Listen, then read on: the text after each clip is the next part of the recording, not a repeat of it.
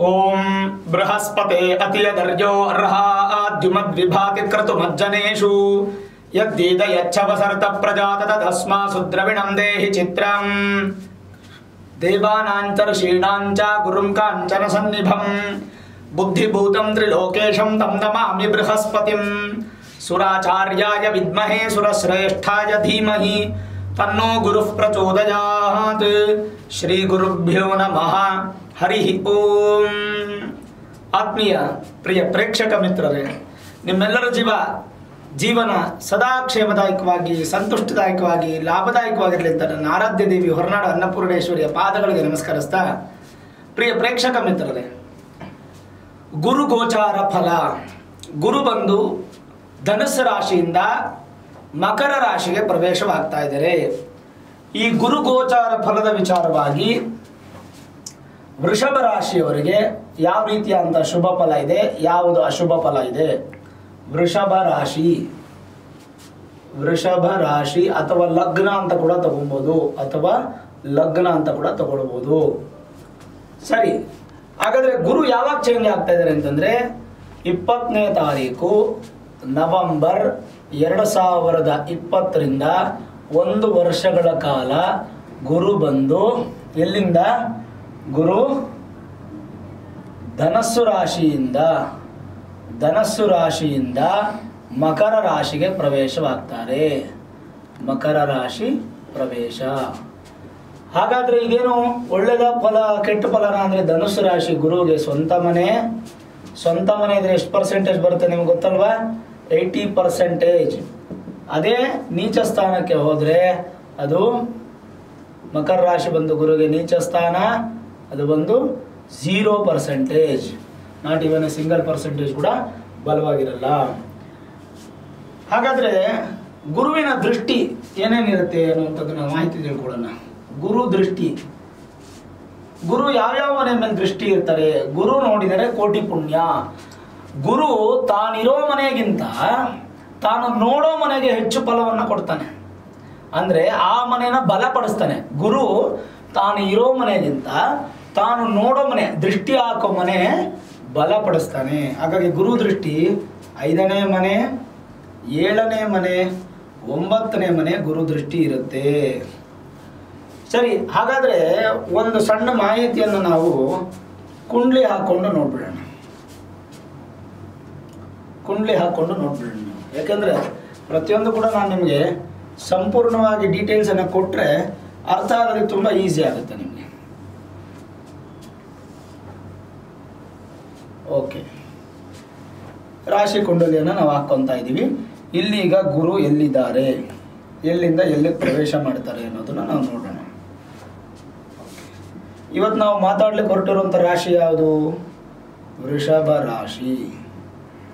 ವೃಷಭ ರಾಶಿ ಅಥವಾ ಲಗ್ನ ಅಥವಾ ಲಗ್ನ. ಗುರು ಎಲ್ಲಿದ್ದಾರೆ ಅಂದರೆ ಇಲ್ಲಿದ್ದಾರೆ. ಅಂದರೆ ನವೆಂಬರ್ ಇಪ್ಪತ್ತನೇ ತಾರೀಕುವರೆಗೂ ಗುರು ಬಂದು ಧನುಸ್ಸು ರಾಶಿಯಲ್ಲಿ ಸ್ವಂತ ಮನೆಯಲ್ಲಿ ಇರ್ತಾರೆ. ಈ ಮನೆಯಿಂದ ನವೆಂಬರ್ ಇಪ್ಪತ್ತನೇ ತಾರೀಕು ಇಲ್ಲಿಗೆ ಗುರು ಪ್ರವೇಶವಾಗ್ತಾರೆ. ಗುರು ಪ್ರವೇಶವಾಗ್ತಾರೆ. ಇಲ್ಲಿಂದ ಐದನೇ ಮನೆಯ ದೃಷ್ಟಿ, ಏಳನೇ ಮನೆಯ ದೃಷ್ಟಿ, ಒಂಬತ್ತನೇ ಮನೆಯ ದೃಷ್ಟಿ ಗುರುಗೆ ಇರುತ್ತೆ. ಇದು ನೀವು ಅರ್ಥ ಮಾಡಿಕೊಡ್ಬೇಕು. ಅಂದರೆ ಗುರು ಬಂದು ಫೈವ್ ಸೆವೆನ್ ನೈನ್ ಇದು ಗುರು ದೃಷ್ಟಿ. ಅಂದರೆ ಗುರು ಈ ಮನೆಯಲ್ಲಿ ಇದ್ದಾರೆ ಅಂದರೆ ಈ ಮನೆಯ ಫಲವನ್ನು ಕೊಡೋದಕ್ಕಿಂತ ಗುರು ನೋಡೋ ಮನೆ ಫಲ ಕೊಡೋದು ತುಂಬ ಜಾಸ್ತಿ. ಈ ಮನೆಯ ಬಲ ಮಾಡ್ತಾರೆ. ಈ ಮನೆಯನ್ನ ಬಲ ಮಾಡ್ತಾರೆ. ಈ ಮನೆಯನ್ನ ಬಲ ಮಾಡ್ತಾರೆ. ಯಾರು? ಗುರು. ಸರಿ, ಹಾಗಾದರೆ ಇವತ್ತು ನಾವು ವೃಷಭ ರಾಶಿ. ಇದು ವೃಷಭ ರಾಶಿ. ಕಾಲಪುರುಷದಂದ್ರೆ ವೃಷಭ ರಾಶಿ. ಈ ರಾಶಿಯವರಿಗೆ ಗುರುವಿನ ಫಲಗಳು ಯಾವ್ಯಾವ ರೀತಿಯಾಗಿ ಸಿಗುತ್ತೆ ಅನ್ನುವಂಥದ್ದನ್ನು ನಾವು ಮಾಹಿತಿನ ತಿಳ್ಕೊಳ್ಳೋಣ. ಇಲ್ಲಿ ಮೊದಲನೇದಾಗಿ ಟ್ವೆಂಟಿಯತ್ ನವಂಬರ್ ಮತ್ತು ಡಿಸೆಂಬರ್ ಜಾನ್ವರಿ ಆ್ಯಂಡ್ ಫೆಬ್ರವರಿ ಈ ನಾಲ್ಕು ತಿಂಗಳು ಎರಡು ನವಾಂಶಕ್ಕಿಂತ ಹೆಚ್ಚಾಗಿ ಗುರು ಬಂದು ಝೀರೋ ಪರ್ಸೆಂಟಲ್ಲಿ ಇರ್ತಾರೆ. ಗುರು ಬಲ ಕೊಡೋದಿಲ್ಲ. ಇದು ನಾನು ಹೇಳ್ತಾ ಇರೋದು ಮಾಹಿತಿಯನ್ನು ಸರಿಯಾಗಿ ಸಂಗ್ರಹ ಮಾಡಿಕೊಳ್ಳಿ. ಸರಿ, ಹಾಗಾದರೆ ಎಷ್ಟೋ ಜನ ಹೇಳ್ತಾರೆ. ಈಗ ಉದಾಹರಣೆಗೆ ಮಕರ ರಾಶಿಯಲ್ಲಿ ಶನಿ ಗ್ರಹ ಇದ್ದಾರೆ. ಮಕರದಲ್ಲಿ ಶನಿ ಇದ್ದಾರೆ. ಧನುಸ್ಸಿಂದ ಮಕರಕ್ಕೆ ಮತ್ತೆ ಯಾರು ಪ್ರವೇಶ ಆದರು? ಗುರು ಪ್ರವೇಶ ಆದರು. ಗುರುಗೇನಾಯಿತು ನೀಚ ಸ್ಥಾನ ಆಯಿತು. ಗುರುಗೆ ನೀಚ ಸ್ಥಾನ ಆದರೂ ಶನಿಗೆ ಸ್ವಂತ ಮನೆ. ಶನಿಗೆ ಸ್ವಂತ ಮನೆ. ಹಾಗಾಗಿ ಗುರುಗಳ ಯಾರೋ ಒಬ್ಬರ ವಿಡಿಯೋಲಿ ಕಮೆಂಟ್ ಮಾಡಿದ್ರು, ಗುರುಗಳ ನೀಚ ಭಂಗ ರಾಜಯೋಗ ಬರುತ್ತೆ ಅಂತ. ಅದು ತಪ್ಪು. ಯಾಕೆ ಅಂತಂದರೆ ಯಾವ ಗ್ರಹ ಸ್ವಂತ ಮನೆಯಲ್ಲಿದ್ದು, ಆ ಗ್ರಹಕ್ಕೆ ನೀಚ ಸ್ಥಾನ ಇನ್ನೊಂದು ಗ್ರಹ ಹೋದರೆ ಅದನ್ನು ನೀಚ ಬಂದ ರಾಜಯೋಗ ಅನ್ನಲ್ಲ. ಸದ್ಯದ ಮಟ್ಟಿಗೆ ನಾಲ್ಕು ತಿಂಗಳು ನೆಗೆಟಿವ್ ಇರುತ್ತೆ. After four months in eight months ಏನಿದೆ, ಅದು ಚೆನ್ನಾಗಿರುತ್ತೆ. ಏಯ್ಟ್ ಮಂತ್ಸ್ ಪ್ಲಸ್ ಪಾಯಿಂಟ್ ಇರುತ್ತೆ. ಈ ಫೋರ್ ಮಂತ್ಸು ಮೈನಸ್ ಆಗಿರುತ್ತೆ. ನೀಚ ಭಂಗ ರಾಜಯೋಗ ಅದು ಏನು ಅಂತ ನಾನು ಹೇಳ್ತೀನಿ ನೋಡಿ. ಈಗ ಗುರುಗೆ ನೀಚ ಸ್ಥಾನ ಮಕರ ರಾಶಿ. ಕುಜನಿಗೆ ನೀಚ ಸ್ಥಾನ ಕರ್ಕಾಟಕ ರಾಶಿ. ಈ ಕುಜ ಈಗ ಸದ್ಯಕ್ಕೆ ಇಲ್ಲಿದ್ದಾರೆ. ಕುಜ ಇಲ್ಲಿಗೆ ಬಂದು ನಲವತ್ತೈದು ದಿನಕ್ಕೊಮ್ಮೆ ಕುಜ ಚೇಂಜ್ ಆಗುತ್ತೆ ನಿಮ್ಗೆ ಗೊತ್ತಲ್ವಾ? ಅದೊಂದ್ಸಲ ನಾಲ್ಕು ತಿಂಗಳು ಆಗುತ್ತೆ, ಮೂರು ತಿಂಗಳು ಆಗುತ್ತೆ ಕುಜಂದು. ಇಲ್ಲಿಗೆ ಚೇಂಜ್ ಆಗಿ, ಇಲ್ಲಿಗೆ ಚೇಂಜ್ ಆಗಿ, ಇಲ್ಲಿಗೆ ಚೇಂಜ್ ಆಗಿ, ಇಲ್ಲಿಗೆ ಬರ್ತಾರೆ ಕುಜ. ಉದಾಹರಣೆಗೆ ತಗೊಳ್ಳೋಣ. Forty five plus forty five is equal to ninety plus forty five plus forty plus forty five ಯಾಕಂದರೆ ಇಲ್ಲಿಗೆ ಬಂದ್ಬಿಟ್ರೆ ಮತ್ತೆ ನೀಚೆ ಆಗಿಬಿಡ್ತಾರೆ. Forty five plus forty five plus forty five ಎಷ್ಟಾಯ್ತು ನಿಮಗೆ? ತೊಂಬತ್ತು ಒಂದು ನೂರ ಮೂವತ್ತೈದು ದಿನ, ನೂರ ಐವತ್ತು ದಿನ ಇಟ್ಕೊಳ್ಳಿ. ನಾನಿಲ್ಲಿ ನಿಮಗೆ ಎಷ್ಟು ಕೊಟ್ಟಿದ್ದೀನಿ? ಇಪ್ಪತ್ತನೇ ತಾರೀಕು ನವಂಬರು ಇಲ್ಲಿ ಹತ್ತು ದಿನ ಹೋಯಿತು.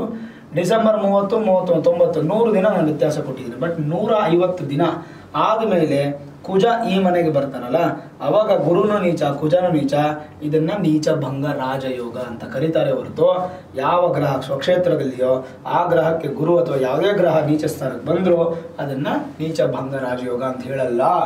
ಅದನ್ನ ನೀವು ಅರ್ಥ ಮಾಡ್ಕೊಳ್ಬೇಕು.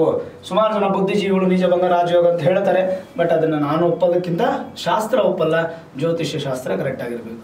ಸರಿ, ಇಷ್ಟು ಮಾಹಿತಿಗಳು ನೀವು ತಿಳ್ಕೊಂಡ್ರಿ. ಈಗ ಮೇನ್ ಇಂಪಾರ್ಟೆಂಟ್ ಏನು? ವೃಷಭ ರಾಶಿಯವ್ರಿಗೆ ಹೇಗಿದೆ? ಮೊದಲನೇದಾಗಿ ವೃಷಭ ರಾಶಿಗೆ ಅಧಿಪತಿ ಬಂದು ಯಾರು? ಶುಕ್ರ.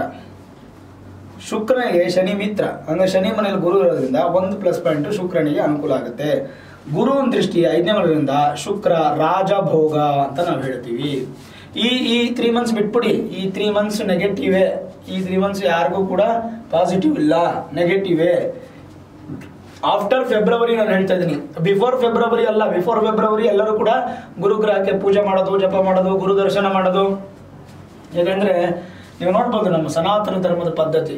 ರಾಘವೇಂದ್ರಾಚಾರ್ಯರಾಗ್ಬೋದು ಮಧ್ವಾಚಾರ್ಯರು, ರಾಮಾನುಜಾಚಾರ್ಯರು, ಶಂಕರಾಚಾರ್ಯರು ದತ್ತಾತ್ರೇಯರು, ಮತ್ತೆ ಶಿರ್ಡಿ ಸಾಯಿಬಾಬಾ ಆಗ್ಬೋದು, ಅಥವಾ ಗುರು ದಾಸರಾಗ್ಬೋದು, ಅಥವಾ ವಿಠಲರಾಗ್ಬೋದು, ಅಥವಾ ಶಂಕರಾಚಾರ್ಯರ ಜೊತೆಗೆ ಪರಂಪರೆ ಆಗ್ಬೋದು.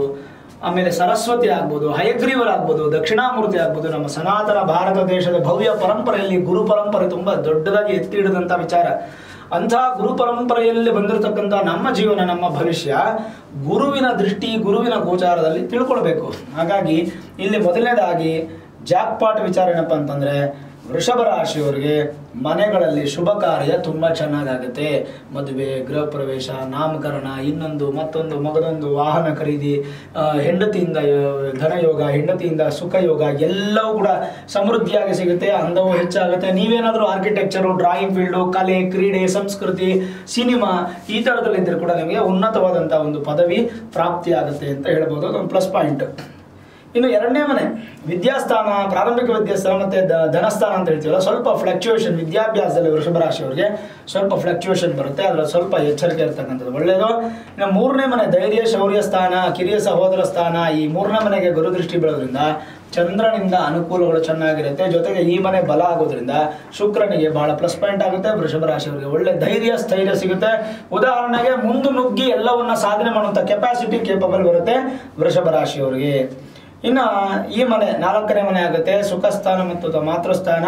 ಗುರು ದೃಷ್ಟಿಯಲ್ಲಿ ಇರೋದಿಲ್ಲ ಈವನ್ ಸೂರ್ಯ ಚೆನ್ನಾಗಿದ್ರೆ ಒಳ್ಳೇದಿರುತ್ತೆ, ಸೂರ್ಯ ಚೆನ್ನಾಗಿಲ್ಲ ಅಂದ್ರೆ ಉದಾಹರಣೆ ನವೆಂಬರ್ ನೋಡಿ. ಹದಿನಾರನೇ ತಾರೀಕು ಆದ್ಮೇಲೆ, ನವೆಂಬರ್ ಹದಿನಾರನೇ ತಾರೀಕು ಆದ್ಮೇಲೆ ಶುಕ್ರ ಶುಕ್ರನ ಮನೆಯಿಂದ ಇಲ್ಲಿಗೆ ಬರ್ತಾರೆ. ಇಲ್ಲಿಗೆ ವೃಶ್ಚಿಕ ರಾಶಿಗೆ ಬರ್ತಾರೆ. ಅಂದ್ರೆ ಕುಜನ ಮನೆಗೆ ಬರ್ತಾರೆ ಯಾರು. ಸೂರ್ಯ ಬಂದಾಗ ಅದೊಂದು ಪ್ಲಸ್ ಪಾಯಿಂಟ್ ಜಾಕ್ ಪಾಟ್ ಅಂತ ಹೇಳ್ಬೋದು.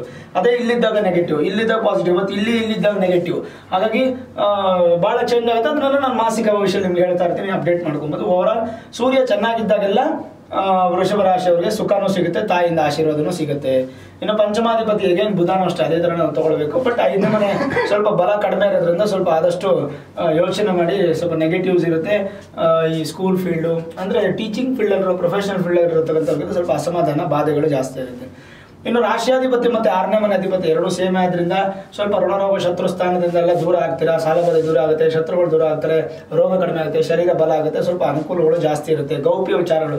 ತುಂಬಾ ಸೀಕ್ರೆಟ್ ಮೈಂಟೆನೆನ್ಸ್ ಜಾಸ್ತಿ ಮಾಡ್ತೀರಾ ಇನ್ನು ವೃಷಭ ರಾಶಿಯವರು?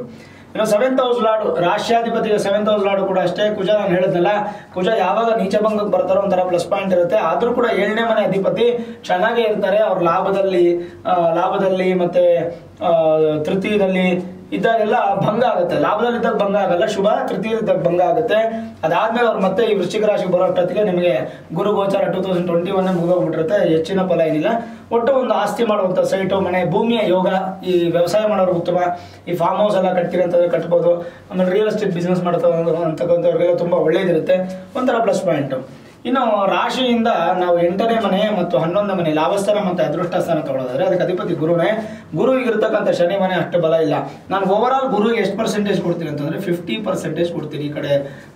ಹಂಡ್ರೆಡು ಇಲ್ಲ, ಈ ಕಡೆ ಝೀರೋನೂ ಇಲ್ಲ, ಅಭಿವೃದ್ಧಿನೂ ಇಲ್ಲ, ಕುಗ್ಗಿರೋದು, ಕುಗ್ಗೋದು ಇಲ್ಲ. ಬ್ಯಾಲೆನ್ಸ್ಡ್ ಗುರುವಿನ ಫಲ ಅಂತ ಹೇಳ್ತೀನಿ. ಹಾಗಾಗಿ ಲಾಭನೂ ಬ್ಯಾಲೆನ್ಸ್ ಆಗಿ ಬರುತ್ತೆ, ಇನ್ನು ಅದೃಷ್ಟನೂ ಬ್ಯಾಲೆನ್ಸ್ ಆಗಿರುತ್ತೆ. ಇನ್ನು ಶನಿ ಶುಕ್ರನಿಗೆ ಮಿತ್ರನೇ, ಅವನು ಹತ್ತು ಮತ್ತೆ ಆ, ಹತ್ತನೇ ಮನೆ ಮತ್ತೆ ಒಂಬತ್ತನೇ ಮನೆ ಇರ್ತಕ್ಕಂಥದ್ದು ಅದೊಂಥರ ಪ್ಲಸ್ ಪಾಯಿಂಟ್ ಭಾಗ್ಯಾಧಿಪತಿ. ಓವರ್ ಶುಕ್ರನಿಗೆ ತುಂಬ ಪ್ರಿಯವಾಗಿರ್ತಕ್ಕಂಥ ಗ್ರಹ ಬಂದು ಶನಿ ಗ್ರಹನೇ. ಆದ್ದರಿಂದ ಶನಿ ಮನೆಗೆ ಗುರು ಇರೋದ್ರಿಂದ ಗುರುವಿನ ದೃಷ್ಟಿ ಶುಕ್ರನ ಮನೆಗೆ ಬೀಳೋದ್ರಿಂದ ಬುಧನ ಮನೆಗೂ ಬೀಳೋದ್ರಿಂದ ಈವನ್ ಚಂದ್ರನ ಮನೆಗೆ ಬೀಳೋದ್ರಿಂದ ಒಂದು ಶುಕ್ರ ಅಂದ್ರೆ ಸುಖ ಇನ್ನೊಂದು ಚಂದ್ರ ಅಂತಂದ್ರೆ ಮನಸ್ಸು ನೆಮ್ಮದಿ ಇನ್ನೊಂದು ಬುಧ ಅಂತಂದ್ರೆ ವಿದ್ಯಾಭ್ಯಾಸ, ಬುದ್ಧಿ, ವ್ಯಾಪಾರ, ಇವೆಲ್ಲವೂ ಕೂಡ ಅಭಿವೃದ್ಧಿಯಾಗಿ ಬಹಳ ಅಭಿವೃದ್ಧಿ, ಸುಖ, ಸಂತೋಷ, ತುಂಬಾ ಚೆನ್ನಾಗಿರುತ್ತೆ.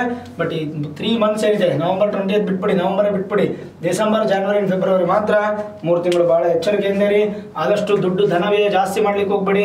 ದುಡ್ಡನ್ನ ಇಟ್ಕೊಳ್ಳಿ. ಹೆಚ್ಚು ಖರ್ಚು ಮಾಡಬೇಡಿ. ಯಾರಿಗೂ ಶ್ಯೂರಿಟಿ ಸಿಗ್ನೇಚರ್ಸ್ ಇನ್ನೊಂದು ಮತ್ತೊಂದು ಹಾಕಿ ಮೋಸ ಹೋಗ್ಬೇಡಿ. ಆದಷ್ಟು ಸ್ವಲ್ಪ ಲಿಕ್ವಿಡ್ ಕ್ಯಾಶನ್ನು ಇಟ್ಕೊಳ್ಳಿ. ದರ್ಬಾರ್ ಖರ್ಚನ್ನು ಮಾಡ್ಲಿಕ್ಕೆ ಹೋಗ್ಬೇಡಿ. ನೀವು ಎಂಜಾಯ್ ಮಾಡಿ, ಕಷ್ಟಪಡಿ, ದುಡ್ಡು ಸಂಪಾದನೆ ಮಾಡಿ, ನೀವು ಎಂಜಾಯ್ ಮಾಡಿ. ಬೇರೆಯವ್ರಿಗೆ ಏನಾರ ಕೊಡಿಸಿ ಮಾಡಿ ಅಪಮಾನ, ಅವಮಾನ ಹಾಕ್ಕೊಂಡು ನಿಮ್ಮ ಸಂಸಾರ ನೀವು ಹಾಳು ಮಾಡ್ಕೊಳ್ಳಿಕ್ಕೆ ಹೋಗ್ಬೇಡಿ.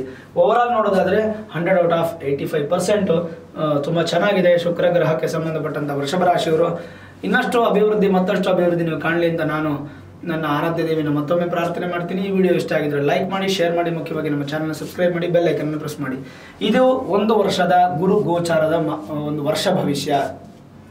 ಇದೇ ನೀವು ಯಾವ ಥರ ನೋಡಬೇಕು ಅಂತಂದ್ರೆ ಇದರದ್ದು ಫಲಗಳು ಕೆಲವೊಂದು ಡಿಸಿಷನ್ಸ್ ತಗೊಳ್ಬೇಕಂತಂದ್ರೆ ನುರಿತ ಜ್ಯೋತಿಷ್ಯರನ್ನ ಭೇಟಿ ಮಾಡಿ ಹೈಯರ್ ಅಸ್ಟ್ರಾಲಜಿ ಪ್ರೊಡಿಕ್ಷನ್ಸ್ ಅನ್ನ ಮಾಡಿಸಿ ಜನ್ಮ ಜಾತಕವನ್ನು ತೋರಿಸಿ, ಅದರಲ್ಲಿ ರಾಶಿ ಕುಂಡ್ಲಿ, ನವಾಂಶ, ದ್ವಾದಶಾಂಶ, ದಶಾಂಶ, ಸಪ್ತಾಂಶ, ಅದರ ಜೊತೆಗೆ ಷಡ್ಬಲ, ಗುರುಬಲ, ಇದ್ರ ಜೊತೆಗೆ ದಶಾಭುಕ್ತಿ, ಇದೆಲ್ಲ ತುಂಬಾ ಇಂಪಾರ್ಟೆಂಟ್ ಆಗಿ ನೋಡಿ, ಲಗ್ನ ಸ್ಥಾನ ಫಲಗಳನ್ನು ನೋಡಿ, ಆಮೇಲೆ ನೀವು ಕೆಲವೊಂದು ಡಿಸಿಷನ್ಸ್ ತಗೊಳ್ಳೋದ್ರಿಂದ ಅನುಕೂಲ ಆಗುತ್ತೆ. ಅದಕ್ಕೆ ನೀವೇನು ಮಾಡಬೇಕಂದ್ರೆ ನುರಿತ ಜ್ಯೋತಿಷ್ಯರನ್ನ ಭೇಟಿ ಮಾಡಿ ಹೈಯರ್ ಅಸ್ಟ್ರಾಲಜಿ ಪ್ರೊಡಿಕ್ಷನ್ಸ್ ಅನ್ನ ಮಾಡಿಸ್ಬೇಕು.